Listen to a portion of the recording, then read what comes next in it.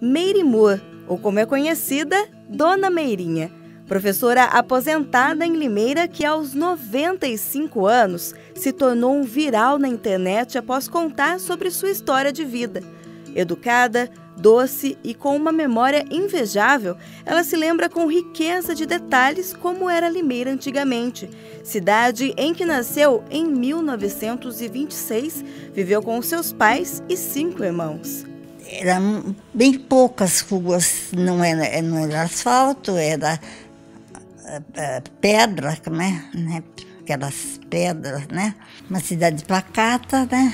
Bem pacata. E, e Limeirense é muito bom.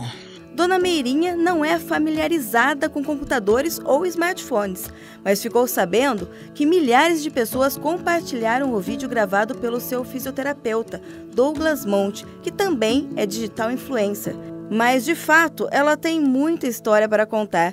Já viu o Dr. Trajano, que fundou a indústria mecânica Máquina São Paulo em 1914, onde seu pai trabalhava como carpinteiro. Meu pai era, é, trabalhava na carpintaria da Máquina São Paulo.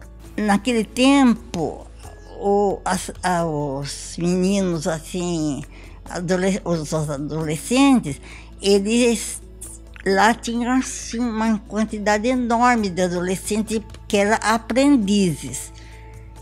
E era meu pai e um outro senhor que ensinavam eles. Mas quem ela conhecia bem era Maria Teresa de Barros Camargo, esposa de Dr. Trajano e primeira prefeita de Limeira. Ah, ela era formidável.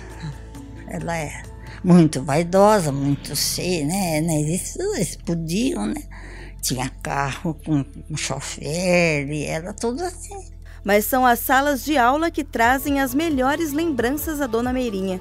Ela se dedicou ao ensino por mais de 40 anos, desde quando se usava pena e tinteiro para fazer anotações.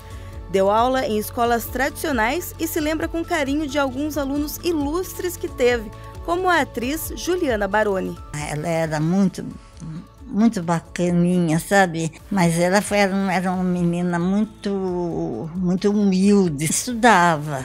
Minha classe era muito boa. Ela optou por se aposentar nos anos 90, pois queria se dedicar mais à família.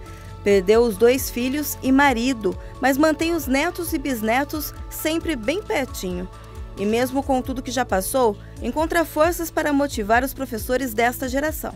Sempre trabalhei com muita dedicação e carinho, que até hoje eu fico boba de ver como eu sou reconhecida pelos alunos. Ser professor é ser um, um profeta, um, um, um apóstolo, porque eu acho que professor até os professores de faculdades, eles passaram pelos professores primários.